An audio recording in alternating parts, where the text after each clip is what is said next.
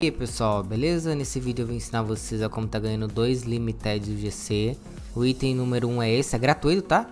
O número 1 um é esse, 500 cópias E o número 2 é esse daqui, tem 200 cópias Esses itens já lançaram há algum tempo, tá bom? Então não tem tantas cópias assim, pelo menos desse Esse daqui tem bastante ainda, tá bom? Vocês ganham esses itens nesse mapa, link na descrição para ganhar os itens, galera, vocês têm que jogar o jogo e ganhar ponto, tá bom? Cada um custa uma certa quantidade de pontos. Esse aqui custa 50 mil pontos e esse aqui 25 mil pontos.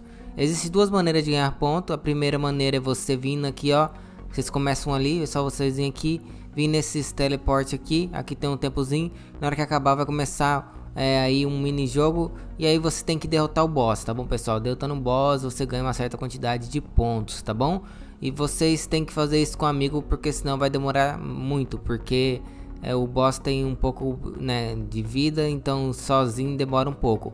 E a outra maneira de ganhar pontos, eu não recomendo tanto porque é, você tem que vir aqui nesse daqui e teleportando para outros minigames e completando é, missões em outros minigames, tá bom? Que aí vocês vão ganhar conquista, tá bom?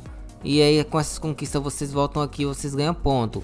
Eu, eu, fiz na minha outra conta e pelo que eu vi, cada conquista que você faz é em outro mapa, ganhando a missão em outro mapa, ganhando a conquista, voltando aqui, é 100 de moeda, tá bom? Agora do boss deve ser muito mais, tá bom? Porque os itens custam muito mais. É só vocês ir nessa área aqui, ó.